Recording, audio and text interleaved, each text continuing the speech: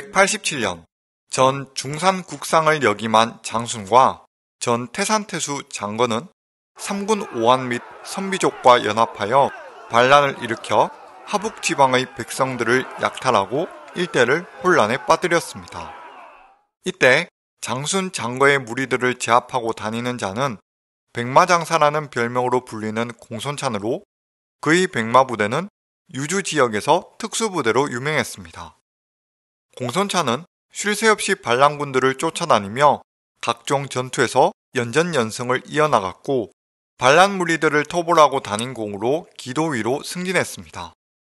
하지만 그 수가 워낙에 많았던 3군 5원 무리들은 공손찬의 활약에도 세력이 줄어들 기세가 보이질 않았고 되려 3군 5원 무리들을 맹렬히 추격했던 공손찬 부대는 요속 관자성에서 구력거에 의해 포위되었습니다.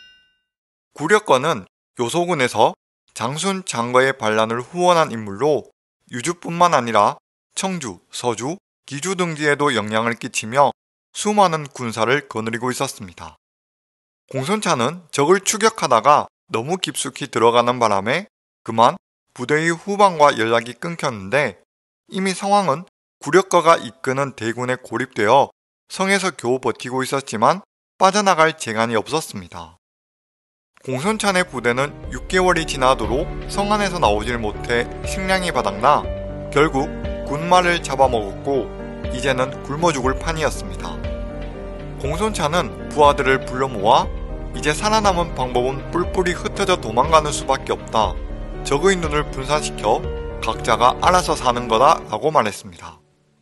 이때 공손찬은 겨우 도망치며 구력거의 소나기에서 빠져나올 수 있었지만 부하들의 대다수를 잃었고 반년이나 성 안에서 공포에 떨어야 했던 그는 오한족이라면 치가 떨릴 정도로 증오하게 됩니다. 그 후로 부하들을 잃은 복수심에 사로잡힌 공손차는 오한족이 가까이 왔다는 이야기만 들어도 적들과의 교전에서 분노를 내뿜으며 전투에 임했습니다. 이 때문에 오한족 내부에서도 공손찬의 소문이 퍼져 백마장사 공손찬을 만나면 무조건 피해라고 병사들에게 주의를 당부할 정도였습니다. 한편 장순 장거의 난이 예상보다 길어지자 조정에서는 오한족에 대한 강압적인 방법보다 회유책을 활용할 수 있는 인물을 유주의 목으로 임명했습니다.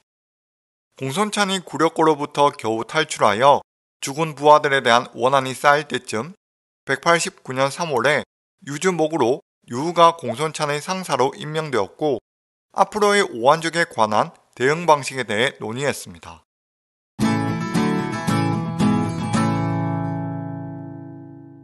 유우는 한나라의 다른 유씨들처럼 황실의 피를 이어받았는데 아버지 유서가 황제와 촌수는 멀었기 때문에 젊은 시절에는 현의 하급 관리로 일했습니다.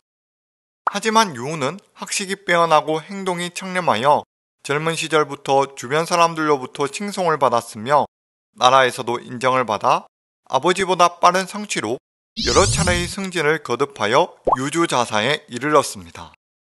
그는 명성과 지위가 높아졌음에도 불구하고 자신을 높이지 않고 항상 겸손하며 부귀 영화를 누리지 않는 태도를 유지하여 영내의 백성들 뿐만 아니라 심지어 한나라 밖의 다른 민족들에게까지 유주의 소문은 자자했습니다. 유주 자사로서의 통치를 할 때는 덕치로 사람들을 감동시켜 선비, 오한, 예맥 등의 민족들 중에서 일부 무리는 자발적으로 유우에게 조공을 바치며 좋은 관계를 유지하고자 했습니다. 5년 전 황건적의 난이 일어났을 때 많은 장수들이 난을 진압하였지만 나라 곳곳이 황폐화되어 이를 수습하는데 많은 어려움이 따랐습니다. 하지만 당시 유우가 임명되었던 감릉에서는 백성들의 만족도가 높아 금세 안정을 찾기도 했습니다.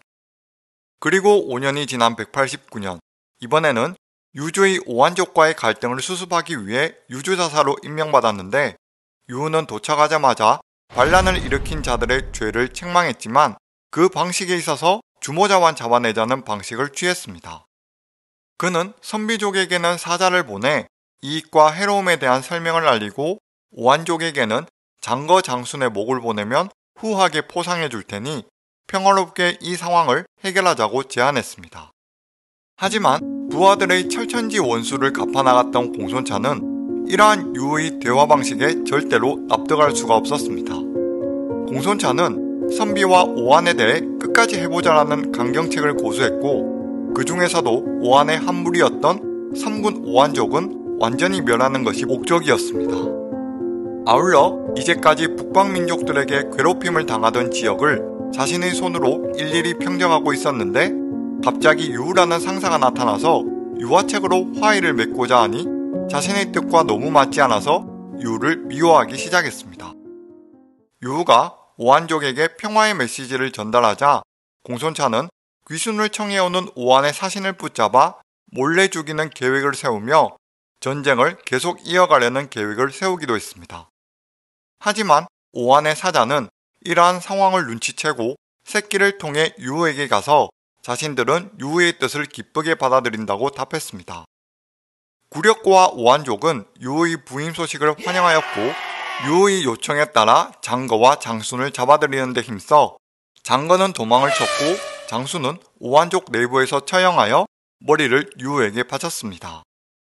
유우는 북방민족에게 화친의 뜻을 더욱 확실하게 보이기 위해 유주에 배치되어 있던 대부분의 둔병을 해산시켰고 항로 교위 공손찬에게는 보병과 기병 1만 명만 데리고 주둔하도록 명했습니다. 여러 곳의 주둔변을 해체하고 1만 명만 데리고 우북평으로 가서 대기하라는 명령은 공손찬에게 사실상 더 이상 싸우지 말고 기본적인 병력으로 구색만 갖추라는 이야기였습니다.